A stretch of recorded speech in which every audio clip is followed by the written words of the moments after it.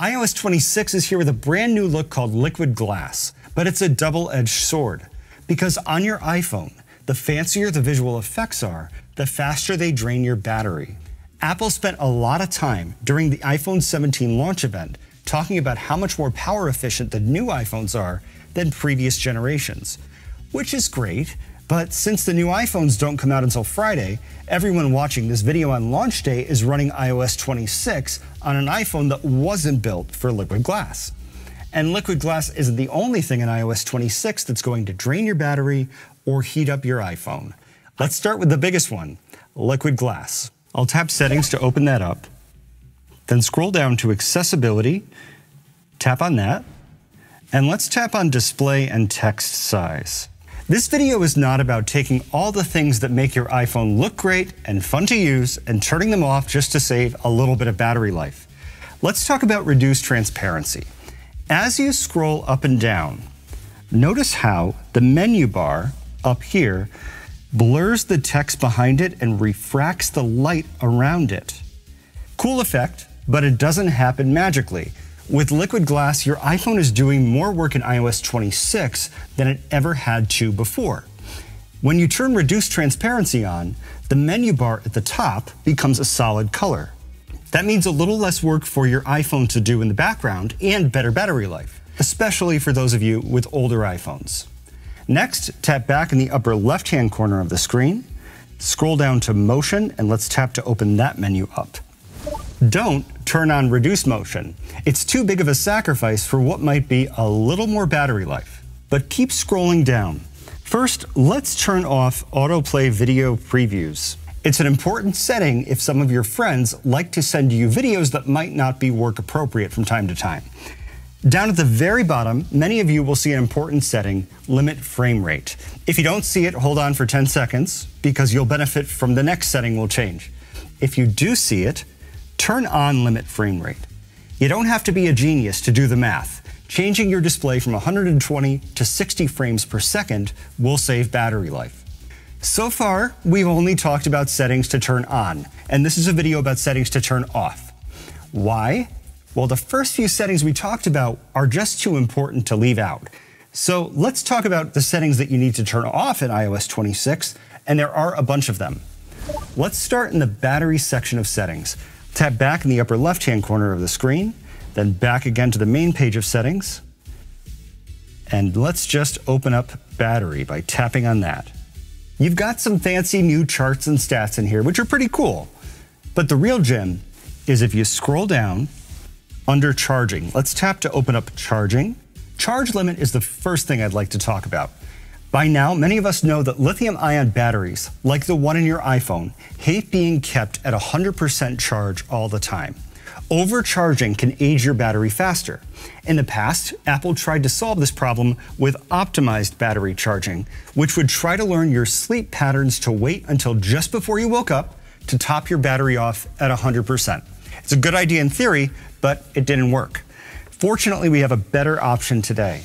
Instead of always charging to 100%, you can now choose to charge up to a maximum of 90%, for example. I'll just slide the slider there. That's what I choose. I make it through the day just fine. While we're here, let's talk about clean energy charging. We're talking about charging an iPhone here, not a power plant. So why is this setting actually here? It's Apple's way to gather data about how you use electricity at home because in a few years, they want to be in charge of how you charge your electric car. That's my prediction.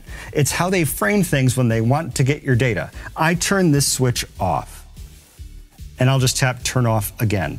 If you don't see the charge limit slider, I recommend turning off optimized battery charging, especially during the iOS 26 launch. You might need that extra battery life to get through the day. I'll swipe from left to right to go back to the main battery page, and then let's open up power mode. Tap on that iOS 26 introduces adaptive power to newer phones, which sounds fancy, but it's basically you giving Apple permission to slow down your iPhone. Why? I don't have a crystal ball, but I predict that being so thin, the iPhone Air is going to get really hot. And when you throttle the processor of a phone, it gets cooler. Leave it off, unless it feels like your phone is going to burn a hole in your pocket. If it does, then turn on adaptive power until Apple comes out with a fix. I'll leave it off on my phone for now. In iOS 26, my next setting to turn off is more important than ever before.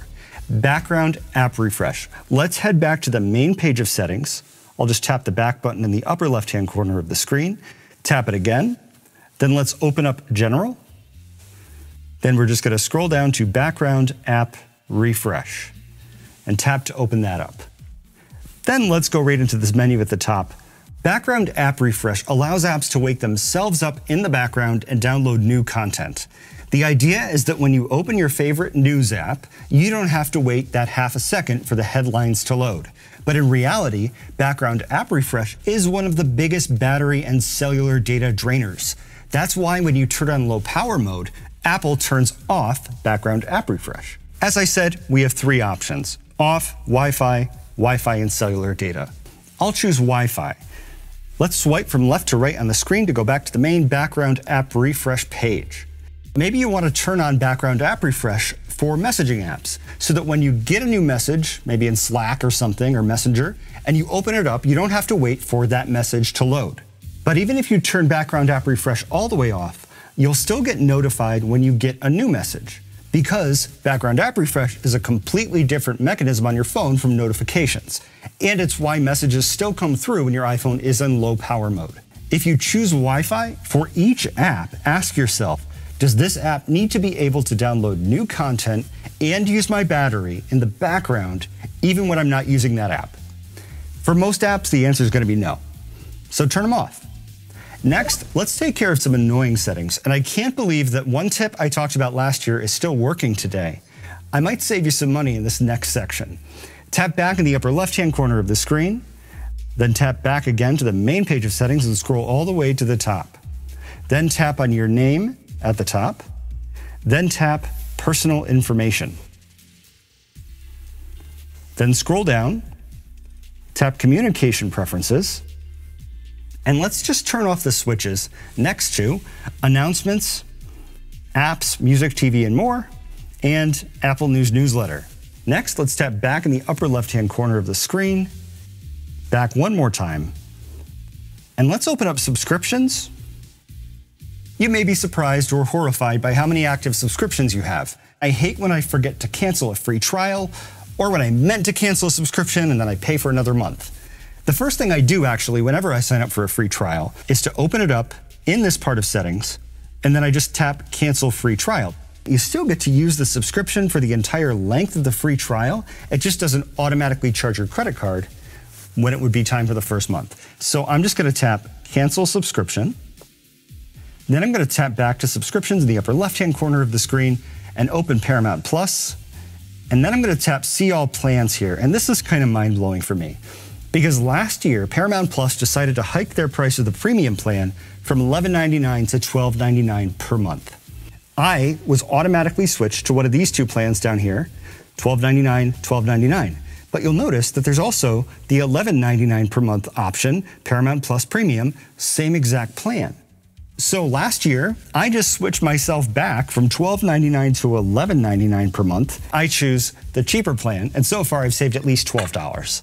It feels like I'm beating the system here, but you know, I'm still paying them $12 a month to watch Columbo and reruns of The Love Boat. So who's really winning here? Let's tap the X in the upper right-hand corner of the screen.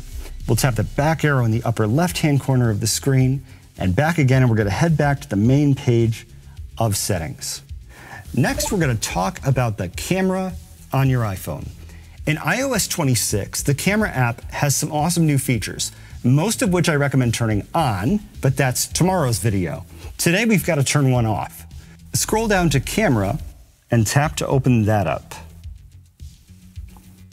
Then we're going to scroll down to Prioritize Faster Shooting. By default, if you take a bunch of photos really fast all in a row. Your iPhone reduces the quality of each one of them in order to take more photos. It sounds helpful, but the downside is that individual photos that you've taken in a burst shot will be lower quality than they could be. I'd rather have a few good photos than a slew of bad ones. So I'm going to turn off prioritize faster shooting.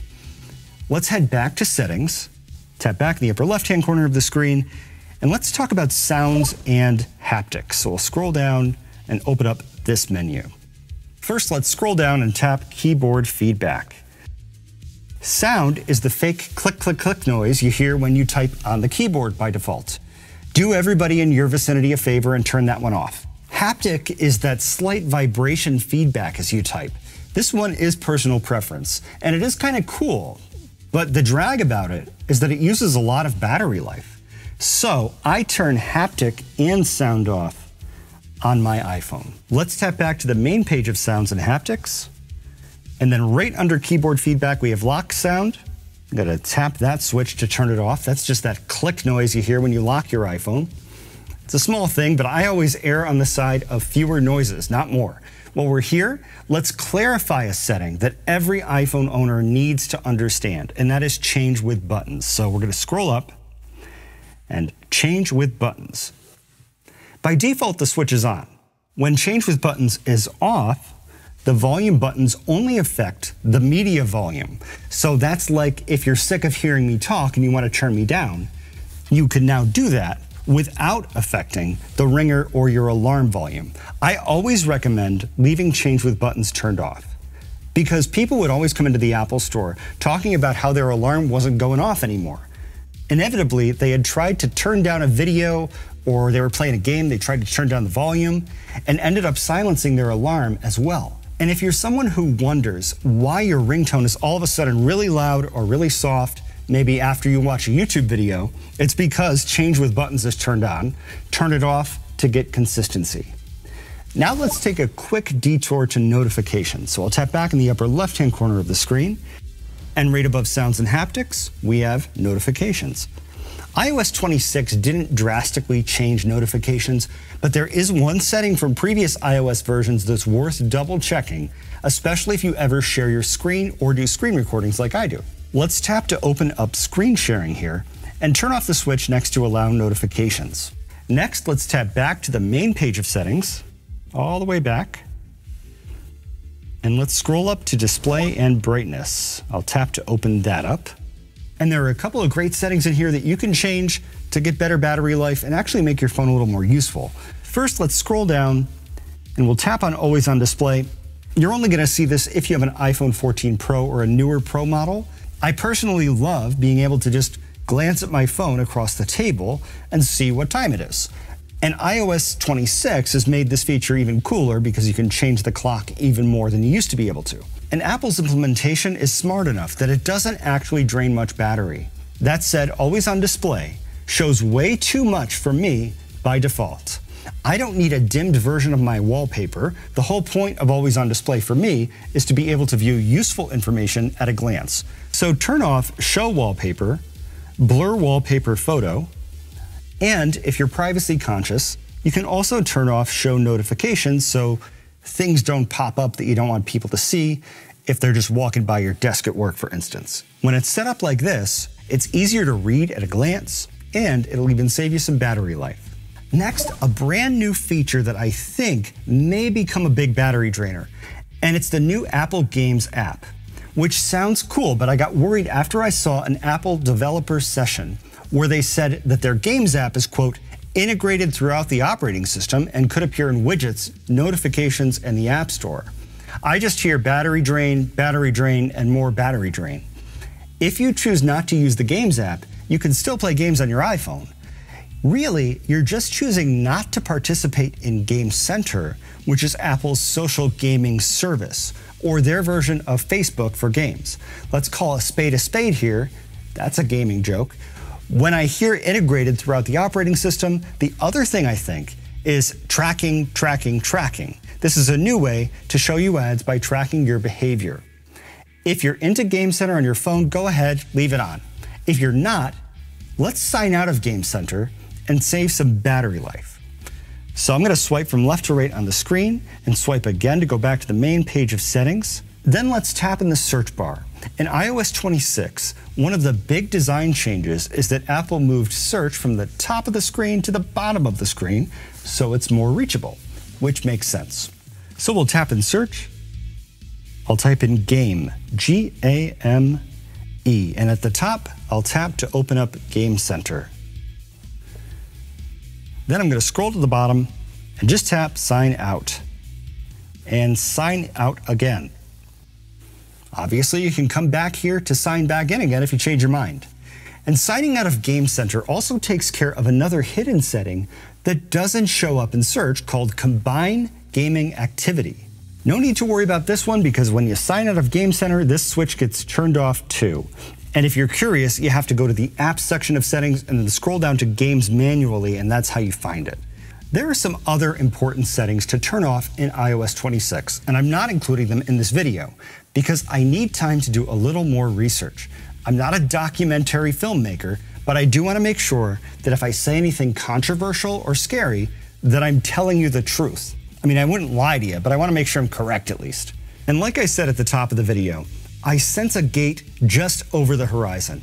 Battery gate, slow gate, heat gate, another bend gate. Tomorrow, we'll dive into the awesome settings you need to turn on to get the most out of iOS 26.